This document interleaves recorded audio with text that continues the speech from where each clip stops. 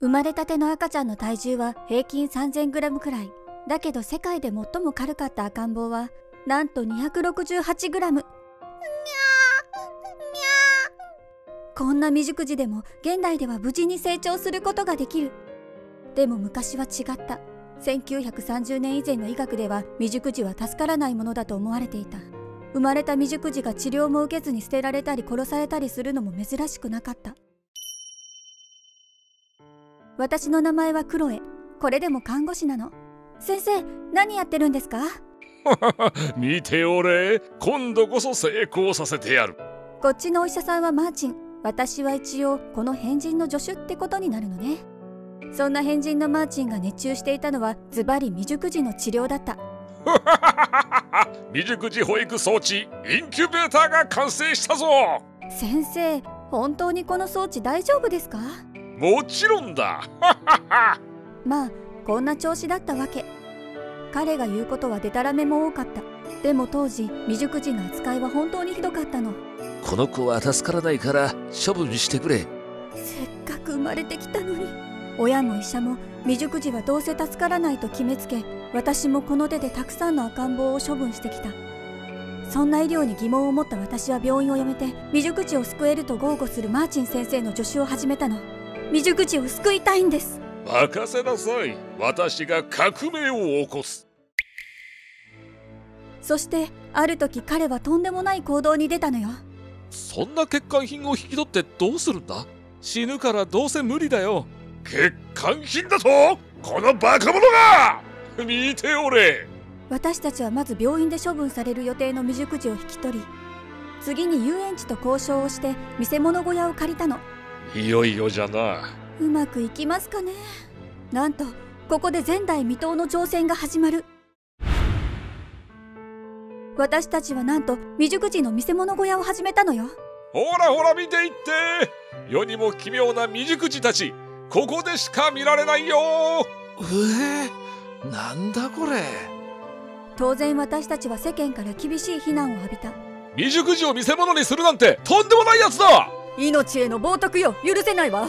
うるさいわい。黙って金を払っていけ。どうしてこんなことを？実はインキュベーターを動かすためには大金が必要で。1台につき1日4万円。いくらあっても足りないわ。そのお金を集めるための炎上商法だったわけ。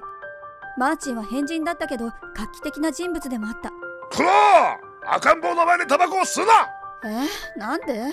タバコやお酒の毒性が知られていなかった当時でも彼はなぜかその有害性に気づいていたの。そう活動するうちに先生5番の赤ん坊の体調が安定し始めました。何？本当か？この子は生きられるかもしれんぞ。私たちは殺されるはずだった未熟児を育てることに成功した。成長した赤ん坊は再び親元へ送られた。本当に私の子なの？助からないって言われてたのに。ああよかったよかった。そんな親からマーチンは一銭のお金も取らなかったのだ。最初の頃は化け物でも見るつもりで来ていた見物人も。はあ前より大きくなってる。ああ元気そうだぞ。頑張れよ。未熟児が元気に育っていくのを見るうちにいつの間にか必死で応援するようになっていた。次第に私たちを非難する人は誰もいなくなったそうして育てた未熟児の数なんと5000人以上。みんなまともな治療も受けられずに死んでしまうはずの赤子だったのに。マーチンの活動は医学界すらも変え始めた。うん？もしかして今までの医学は間違っていたのか？未熟児は助かるという新しい常識が生まれた結果多くの病院がインキュベーターを導入することになったのそうした改革の末に未熟児の治療は当たり前になっていた。私たちの望んでいた世界がやってきて見せ物小屋に子供を預ける親はいなくなった。5000もの命を救ったマーチンはその後ああクロエ君いるのか？ここにいますよ先生。見せ物小屋も閉館して貧困の中で亡くなった全ての財を未熟児を救うために使ったんです。マーチンの死後彼の偉業を後世に伝えたいと思った私は作家に彼の経歴などの調査を依頼した。クロエさん実は気になることが。どうかしましたか？調査の結果信じられない事実が明らかになったのだ。え何これ？どういうことなの？なんとマーチンの経歴は何もかも詐称で医師免許も持っていなかったの。マーチン？記録がありませんね。彼の故郷へ出向いても家族や親戚はおろか出生記録すらも存在しなかった。しかし偽の医者というにはマーチンの医学知識は高すぎた。そんなわけない。彼の知識は本物だったのよ。インキュベーターも彼が作ったのよ。それどころか当時の医学の水準をはるかに上回っていた。